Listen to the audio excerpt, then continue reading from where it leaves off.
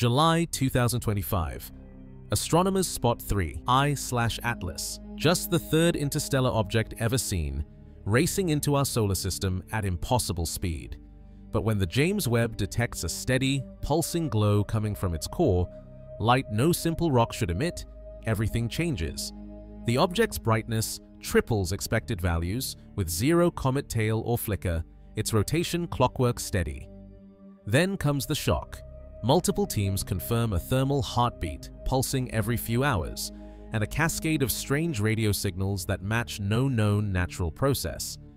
If this is real, it could be the first evidence of something built, not born, heading toward us right now.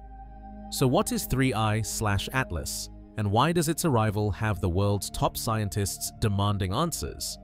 August 6, 2025. Deep in the data stream from the James Webb Space Telescope, a group of NIRSpec operators flagged something that did not add up. The first infrared frames of 3I-ATLAS showed a concentrated glow at the object's core. Not a scattered haze, not a diffuse coma, just a tight, isolated source, bright enough to outshine the surrounding dust. The readings came in clean, with no sign of instrument error or solar flare contamination. On the raw plots, the heat signature stood out, a white-hot core fading into colored bands, all centered on a nucleus no telescope could actually resolve. The Webb team, led by senior instrument scientist Dr. Lena Markovich, checked calibration logs, then ran the numbers again. The emission was steady, holding at levels three times higher than any model predicted for an object this size and distance. There was no tail, no flicker, just a fixed, unwavering beacon. The team's internal chat filled with questions. Was this outgassing or something else entirely? Archive checks began immediately.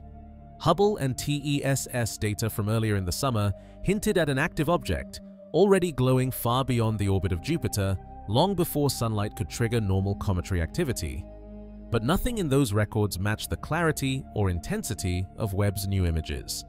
For the operators, it was clear this was not a routine discovery. The heat was coming from deep inside, not from the sunlit surface. And whatever was powering it, the usual rules did not apply. The optical survey teams, led by the Atlas Group in Chile and analysts at Hubble, began their own round of checks. Their first concern was brightness. By every standard metric, 3i slash Atlas shone at nearly three times the intensity expected for a body of its estimated size and distance. Light curve studies, plotted over weeks, showed a steady, unwavering output. No dips, no surges, no evidence of the flickering usually caused by jets of gas or uneven surfaces. For comparison, typical comets brighten and fade as they tumble, their icy crusts venting in fits and starts. Here, the pattern was almost flat, with a measured rotation period of about 6 hours, enough to reveal any major surface activity, but nothing appeared. Hubble's high-resolution images searched for the classic tail, the streaming plume that signals a comet's ice turning to vapor. Instead, the object was wrapped in a tight, teardrop-shaped cocoon, more a shroud than a tail. Analysts noted that even at 6 astronomical units from the Sun, where sunlight is weak and most comets lie dormant, 3 Bunch I-Atlas was already active, glowing against the black. No model of solar heating or standard outgassing could explain the intensity or the timing. These contradictions left the optical teams with a puzzle, a body too bright, too steady, and too self-contained to fit any familiar category. The usual comet rules did not apply. For the researchers, the next step was clear. If the light wasn't coming from the surface, perhaps the answer lay deeper inside. Infrared analysts on the Webb team began dissecting the time series data, looking for any sign of pattern in the heat pouring from 3I-Atlas's core. What caught their attention was not just the intensity, but its rhythm. Every four hours, the central glow swelled and faded in a slow, deliberate cycle. The pulse was unmistakable, steady, almost mechanical, with energy peaking at the heart and radiating outward in waves. No random flicker, no chaotic outburst. The data logs filled with timestamps, each marking a rise and fall that repeated with uncanny precision. Dr. Lena Markovich and her group mapped the intervals against the object's rotation and orbital parameters, searching for a natural cause. Nothing lined up. The heat did not track surface features or solar input. It pulsed from deep inside, untouched by the changing angle of sunlight or distance from the sun. To the Webb operators, it looked less like a comet's outgassing and more like the heartbeat of something engineered. Radio observatories from California to South Africa tuned their arrays to 3I/Atlas, searching for any trace of electromagnetic activity beyond the optical and infrared. The Allen Telescope Array, led by Dr. Kavita Rao, began sifting through hours of wideband data. Filtering out background hiss and satellite spillover, the team isolated something that didn't belong. A faint, narrowband pulse repeating every four hours, unwavering in its rhythm.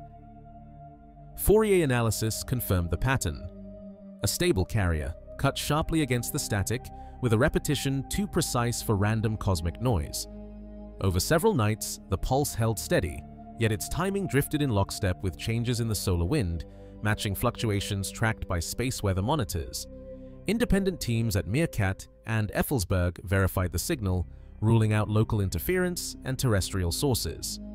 The pulse's persistence its subtle environmental shifts and its cross-hemisphere replication forced a new question into the open. Was this a natural process or a deliberate transmission from something aware of its surroundings? Mid-August 2025, the anomaly deepened. Webb's live feed caught a sudden flare. 3I/Atlas brightened by nearly 40% in less than an hour. The TESS satellite, still tracking from Earth orbit, confirmed the spike. Every telescope trained on the object registered the same surge, not just in visible light, but in thermal output. For a brief window, the object radiated as if something inside had powered up. Then, just as quickly, the numbers stabilized, but at a new, elevated baseline. Attention shifted to the orbit. Marco Micheli and the ESA Near-Earth Object Team ran updated models. The predicted path, calculated from months of data, no longer matched reality.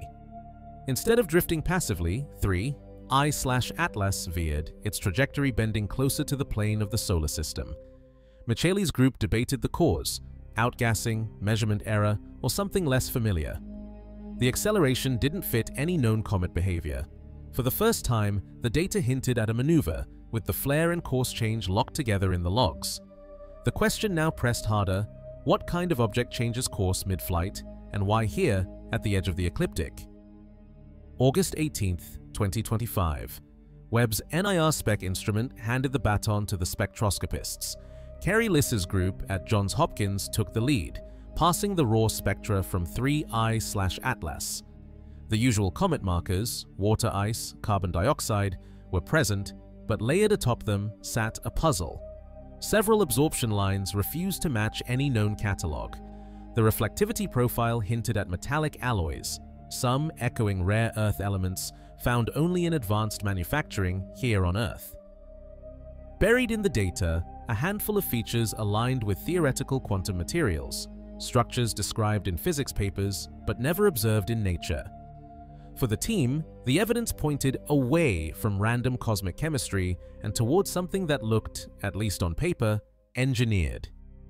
By late August, access to raw telescope feeds began to tighten. Internal memos from NASA and the ESA referenced new data protocols, citing planetary security. The SETI working group, led by an anonymous coordinator, debated whether to transmit a mathematical signal toward 3I/ATLAS.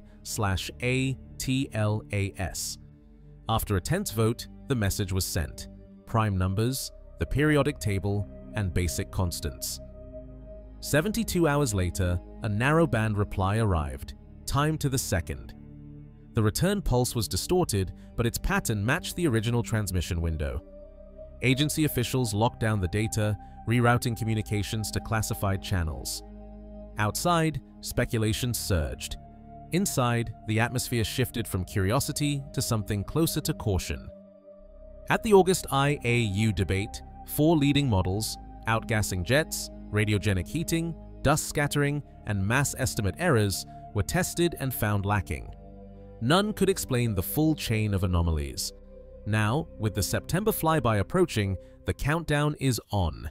Every instrument will be watching, hoping for the data that finally settles the question. On August 6, 2020, the James Webb Space Telescope recorded 3I/Atlas emitting infrared light three times brighter than models predicted for its size. Over the following weeks, teams documented a centralized pulsed heat signature, a repeating radio signal, and a sudden 40% flare that coincided with a shift in its trajectory. Facts confirmed by TESS, Hubble, and European Space Agency orbital data. Spectroscopic analysis revealed rare Earth alloys and absorption lines unknown in current catalogs. Despite multiple independent reviews, natural explanations such as outgassing, radioactive decay, and dust scattering were all ruled out by the International Astronomical Union debate panel. As of late September 2025, its closest approach is imminent, with major observatories preparing for direct study. What is clear? 3. I/Atlas challenges every current model of interstellar objects, and its next passage past Earth will be a decisive moment for planetary science.